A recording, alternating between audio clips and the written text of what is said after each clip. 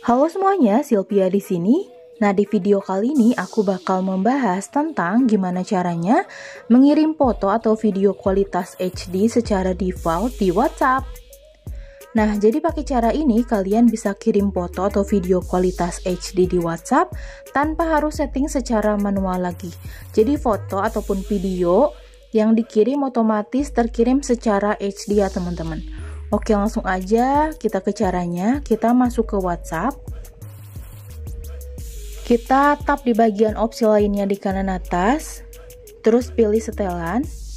Terus pilih penyimpanan dan data pilih kualitas unggahan media. Nah, di sini kita bisa pilih ke kualitas HD ya teman-teman.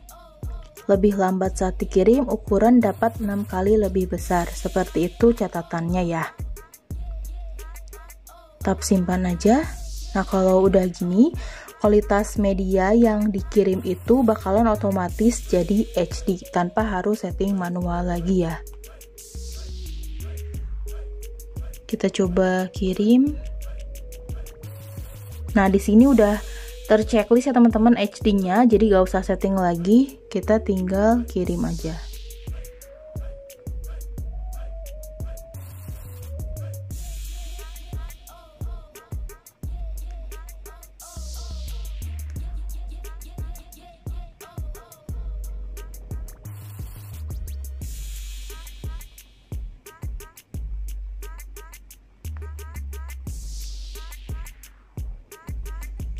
Oke, beres ya teman-teman. Ini otomatis jadi HD ya hasilnya. Nih, ini etalase 19-nya. Ya kakak ya etalase 19-nya aku pegang di warna nutmeg sama black, black api ya.